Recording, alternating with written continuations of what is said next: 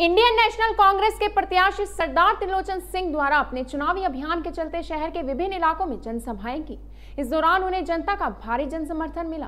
कांग्रेस प्रत्याशी सरदार त्रिलोचन सिंह द्वारा चांदसराय में एक विशाल जनसभा संबोधित की गई, जिसमें बड़ी संख्या में लोगों ने पहुंचकर अपनी हाजिरी दिखाई और कांग्रेस के पक्ष में वोट करने की बात कही।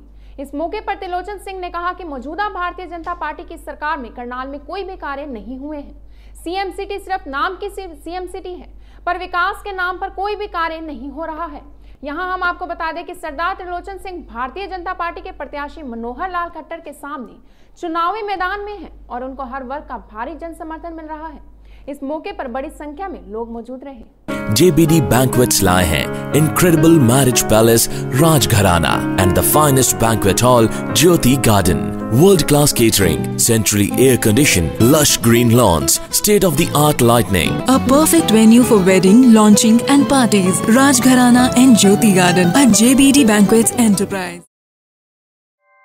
ऐसे ही लेटेस्ट खबरें पाने के लिए बेल आइकन को क्लिक कर हमारे चैनल को लाइक शेयर एंड सब्सक्राइब करें धन्यवाद